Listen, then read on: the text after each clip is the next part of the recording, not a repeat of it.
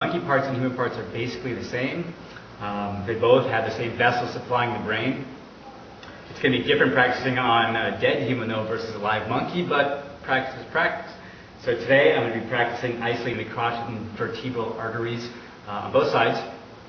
Um, need to isolate them, the ones that supply the neck and the face, and sort of like tie them in, both superficial and uh, deep ones, I'll tie them in. Uh, not sure how it's going to work to feel ugly, especially if his skin starts to slough. off. Oh, Jesus!